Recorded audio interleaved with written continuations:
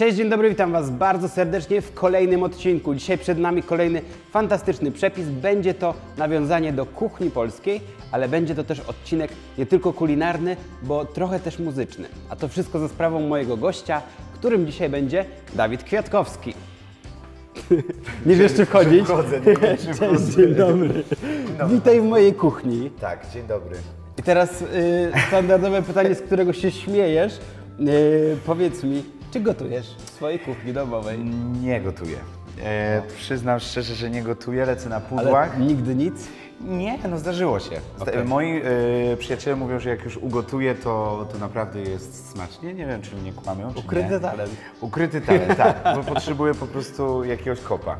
Ale mm, no nie, nie, nie, nie mam smykałki. Tak z No przepisu dobra. jadę, zawsze z przepisu. Sprawdzę to. Tak. Zabieram się do roboty.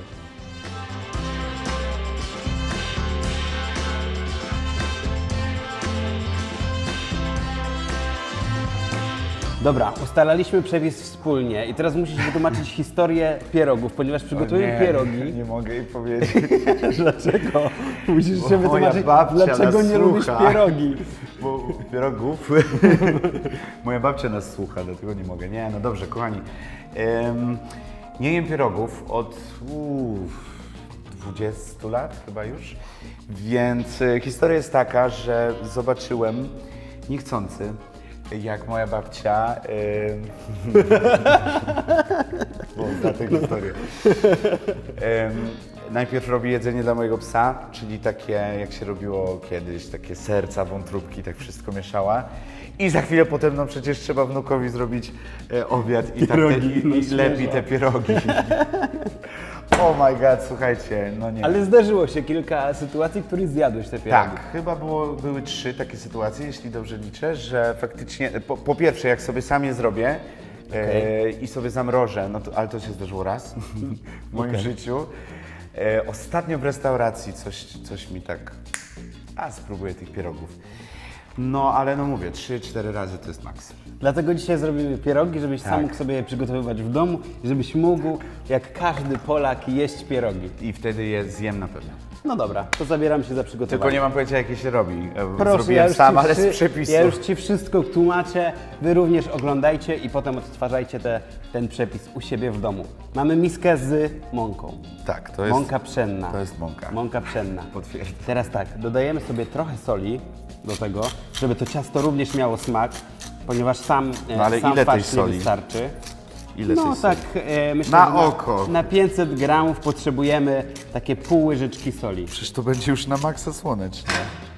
Znaczy nie, nie, No, ale ja widać, że nie gotujesz. No, Dodajemy trochę oleju, żeby było nam e, łatwiej wyrabiać to ciasto.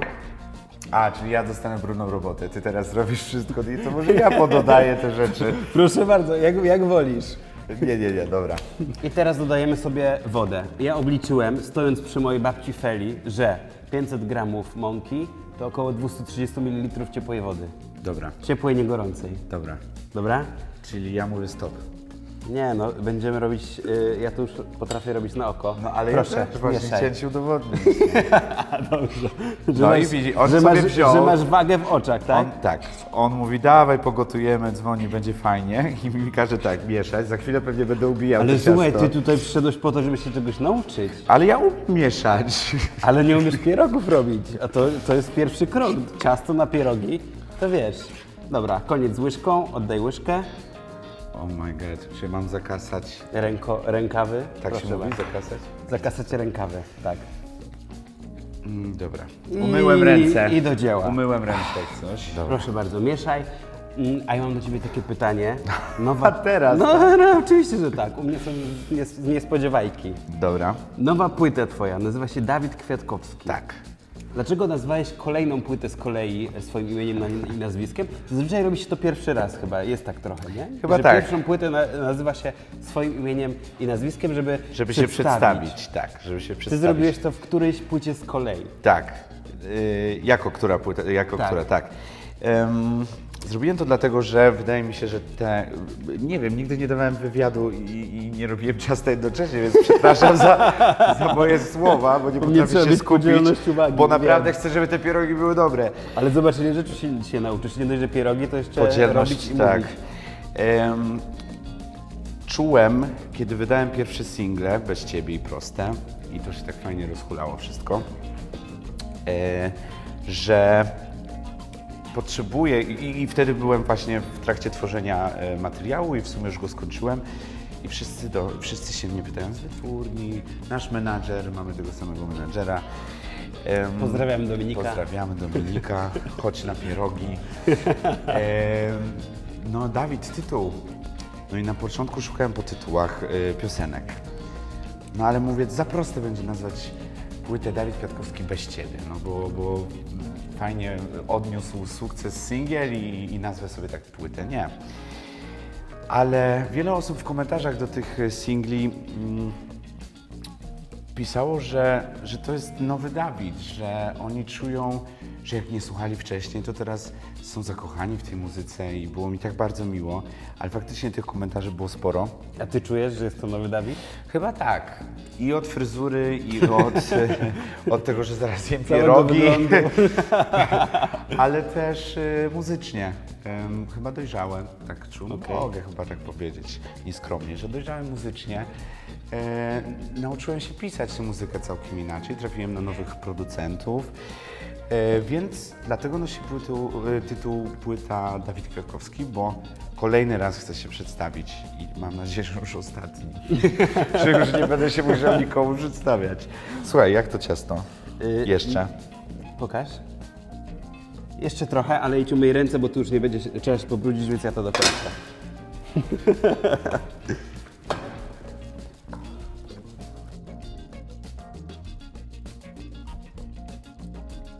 No dawaj, dawaj, bo trzeba dalej działać. Jestem. Dobra, ciasto Chyba gotowe. domyłem. Ciasto gotowe. Teraz przykrywamy je ściereczką i odstawiamy na czas e, zrobienia farszu.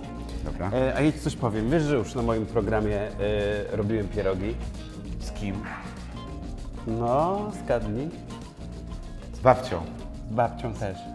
Ale jeszcze z Magdą Gessler. Opowiedz mi... Czy to było w tej kuchni, czy miałeś wtedy innej. inną? Ona przyjechała wtedy swoim food truckiem. Jak ona potrafi? Tak, były jeszcze kiełbaski Besos i przyjechała z tymi Słuchajcie, kiełbaskami. ale ja nigdy tych kiełbasek nie zjadłem. Jako nie ma wielki już, nie? fan Magdy Gessler nie zjadłeś kiełbasek Besos? Jestem największym Opowiedz o fenomenie Magdy Gessler w twojej głowie. Ale wydaje mi się, że słuchajcie, tu nie trzeba dużo opowiadać. Myślę, że każdy, kto ogląda, uwielbia Magdę Gessler. e, oglądam każdy odcinek. E, no i właśnie, skoro oglądam każdy odcinek, właśnie. to dlaczego nie gotuję, nie? Bo to jest pytanie do ciebie. No właśnie wiem, nie wiem, nie mam pojęcia. Poznałem kiedyś Magdę Gessler, O. a bardzo się stresowałem. Okej. Em, byliśmy na jakimś Zamieniliście jakieś nagród. słowo, czy nic? Cześć, cześć Dawid Magda. Oj, to już jesteś na cześć z Magdą Nie, Gessler. nie, pewnie powiedziałem dzień dobry. pewnie powiedziałem dzień dobry. Em, tak, ale jestem wielkim fanem i o, tak, marzę, marzę, żeby kiedyś mi Magda ugotowała. Może kiedyś, domu. kiedyś jak Magdę drugi raz zaproszę do mojego odcinka, to się wtedy... Tak, e, ja mogę cię tu siedzieć. Tak, Zaproszę. psychofan. No dobra, nawiązując do Magdy Gessler, Magda Gessler kocha polską kuchnię, więc wymyśliłem nowe pierogi. Pierogi też e, kuchnia Nowe polska. dzisiaj będziemy robić. Nowe pierogi. Okej. Farszem będzie ciapka Kapusta. pusta. Ciapka Co? pusta. Czemu ciap? Ciapka pusta. Kojarzysz takie coś? Nie, nie kojarzę. To jest taki mm, śląski dodatek do dań. W sumie można też to jeść samodzielnie. Połączenie ziemniaków, kapusty kiszonej z boczkiem, e, z cebulką, ze szczypiorkiem czasami. I e, postanowiłem to zamknąć w pierogu. Co Dobra. ty na to? Wspaniale. Y, A bo ta kroimy- ciapka pusta zazwyczaj jest jak osobno, jako... Tak. Okej. Tak. Dobra. Kroimy boczek. Wy? Kroimy boczek w drobną kostkę. Dobra. Dasz radę? A przestań, oczywiście, że mam radę.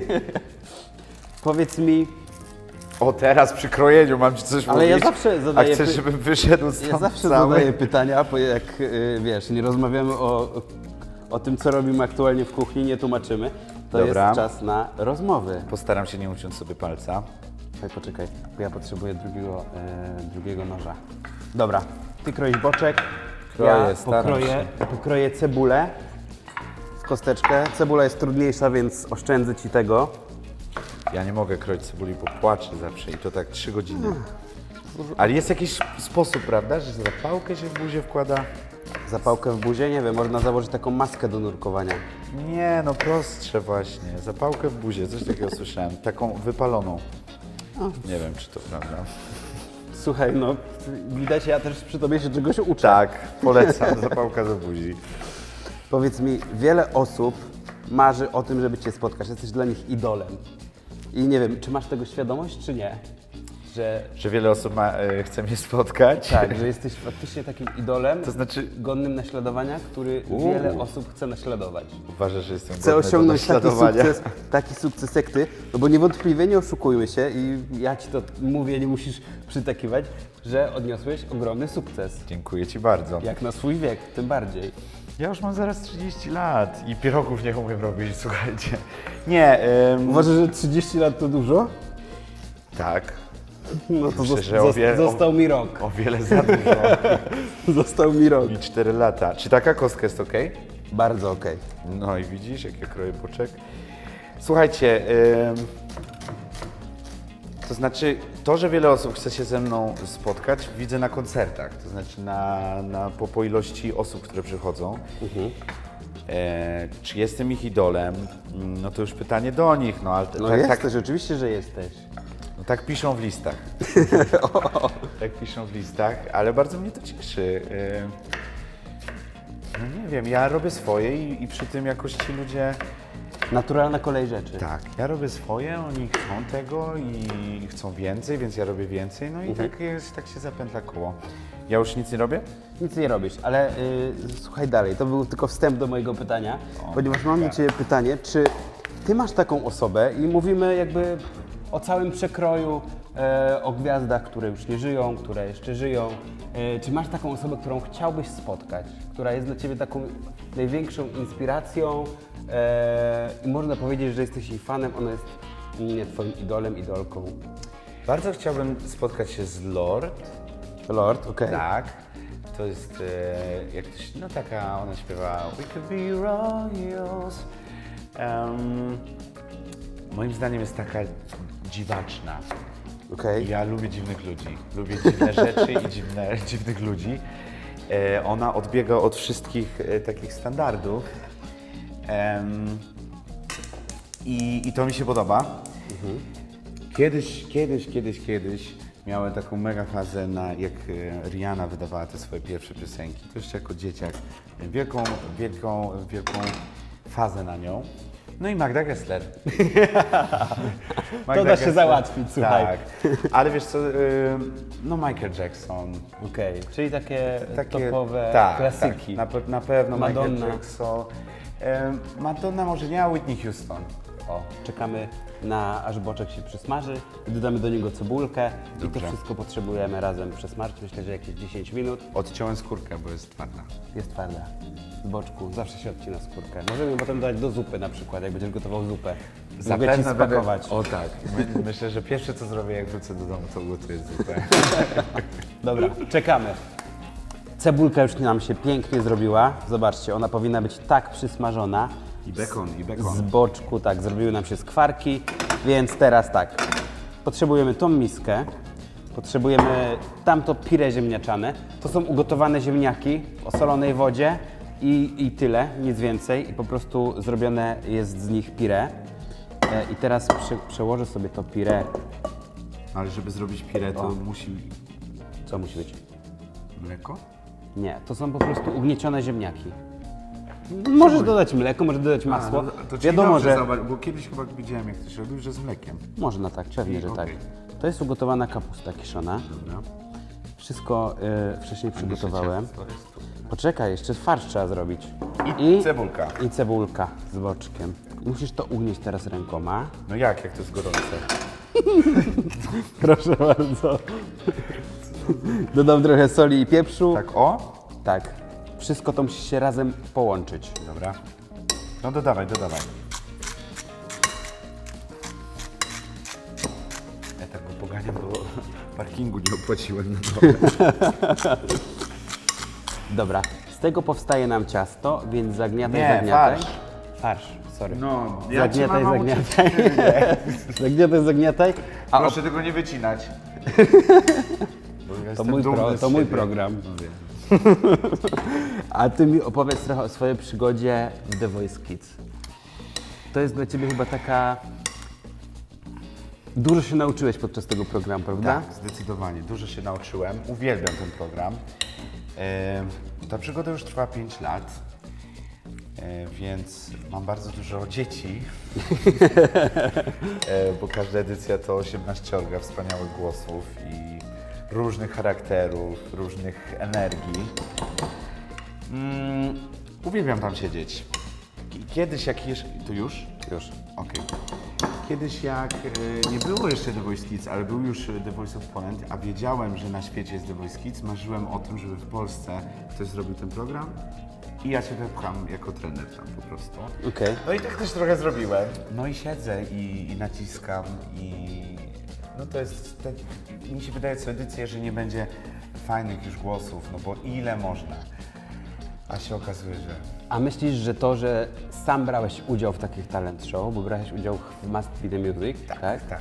Miało wpływ trochę na to, jak podchodzisz do tego jako ta Tak. osoba po drugiej stronie? Tak, tak, dlatego że to znaczy na pewno mm, bardzo ważę słowa i staram się fajnie im powiedzieć, zwłaszcza wtedy, kiedy dana osoba nie przechodzi, fajnie wytłumaczyć dlaczego, bo pamiętam jak byłem w Must Be The Music i nie przeszedłem, to słowa kory czy słowa ym, łoza naprawdę wiele mi dały i ja wyszedłem stamtąd nie załamany, no płakałem tam po No kątach. wiadomo, y, Bo, bo się nie udało, Tak. ale wróciłem do domu i zapamiętaj te słowa, zapamiętaj te słowa i naprawdę mm, wziąłem je sobie do serca.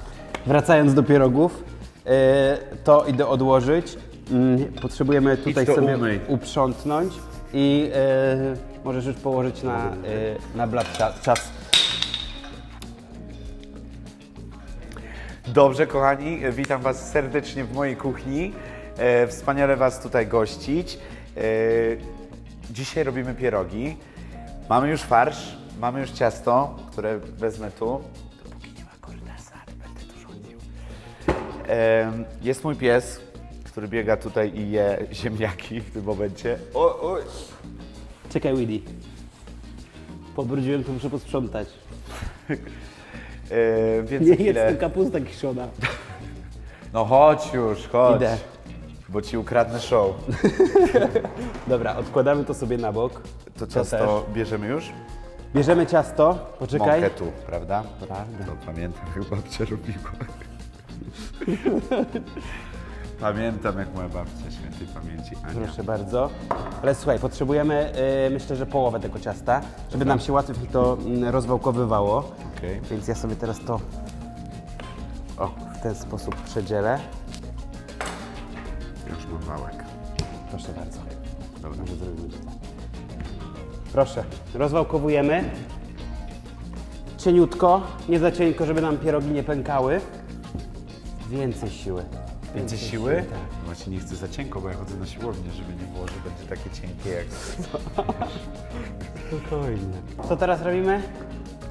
O, Wykrawamy.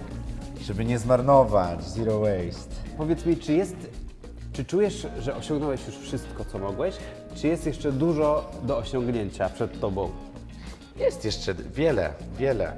E, nie mówię tutaj o nagrodach, tylko o takich moich osobistych... Ale Oscara byś przyjął za muzykę do filmu. Najpierw to bym dos- chciał dostać nominację do Fryderyka. tak? Jest to trochę takie twoje...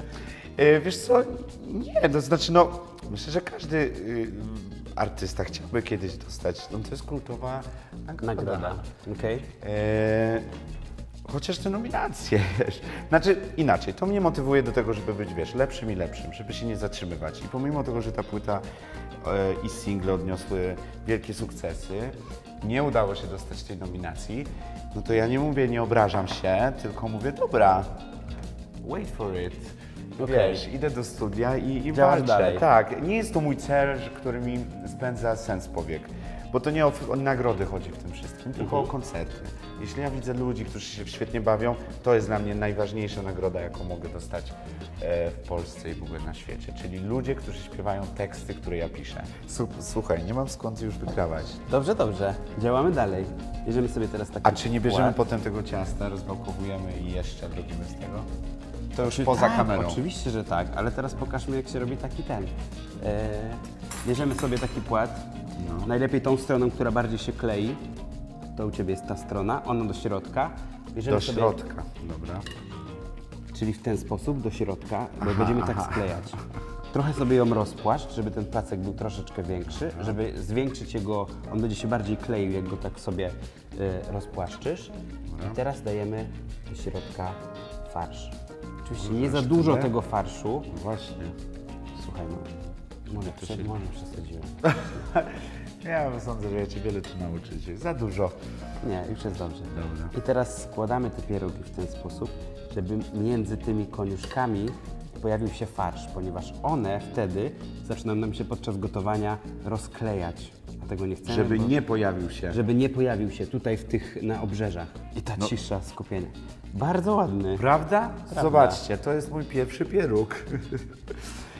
Ej, nie, uważam, że nie jest zły, ale trochę więcej farszu powinienem dać jednak, a ty mi kazałeś odłożyć, może za dużo odłożyłem.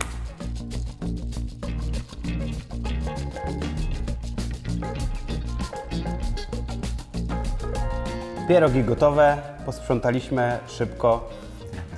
I teraz słuchajcie, zagotowaliśmy wodę z solą i wrzucamy sobie nasze pierogi.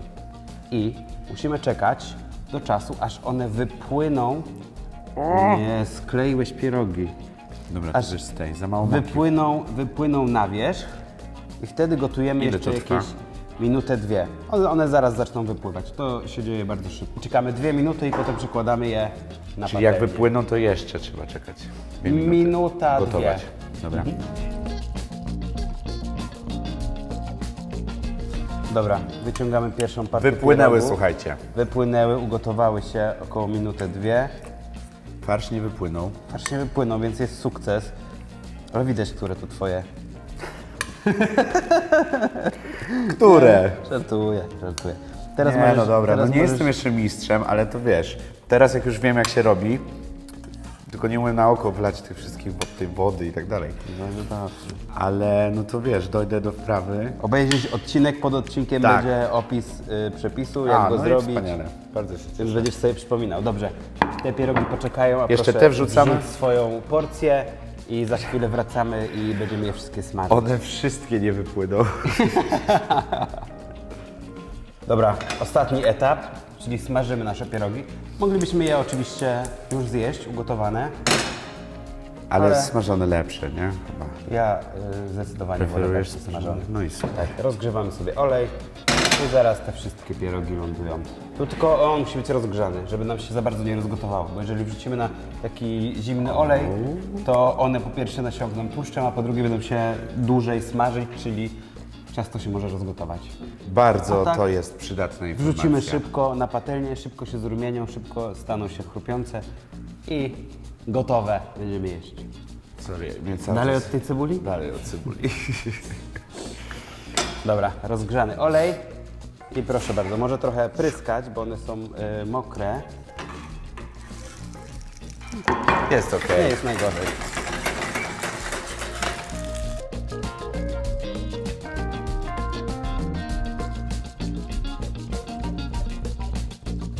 Gotowe. Gotowe. Tak jest. Słuchajcie, ale dowiedziałem się czegoś ważnego, to znaczy ciekawego, że one się tak, nie, bo ja poprosiłem, żeby nie na maśle, tylko na oleju, muszę trochę unikać e, masła, że one się tak nie zarumienią, tak? Jak tak maśle. bardzo jak na maśle nie. Okej, no dobra. Więc jeżeli chcecie mieć takie mocno zarumione, to polecam masło. To masełko, ale my na oleju i będzie też git. Oczywiście, tak. No i co? No powiem tak. E, jeśli chodzi o. Tutaj, proszę Państwa, e, to jest na pewno mój pieróg. ten jest na pewno mój. Ten również. A ten na przykład jest Damiana. Wi- jest widoczna pewna różnica, ale uważam, A że jak ten? na pie... Ten też jest mój. Widzisz? Chwila prawdy, stresuję się. Bo jeszcze nigdy nie robiłem pierogów z Dawidem. To też, ale nigdy nie robiłem rzeczy, której ktoś nie lubi i ja muszę tego kogoś przekonać do tego dania.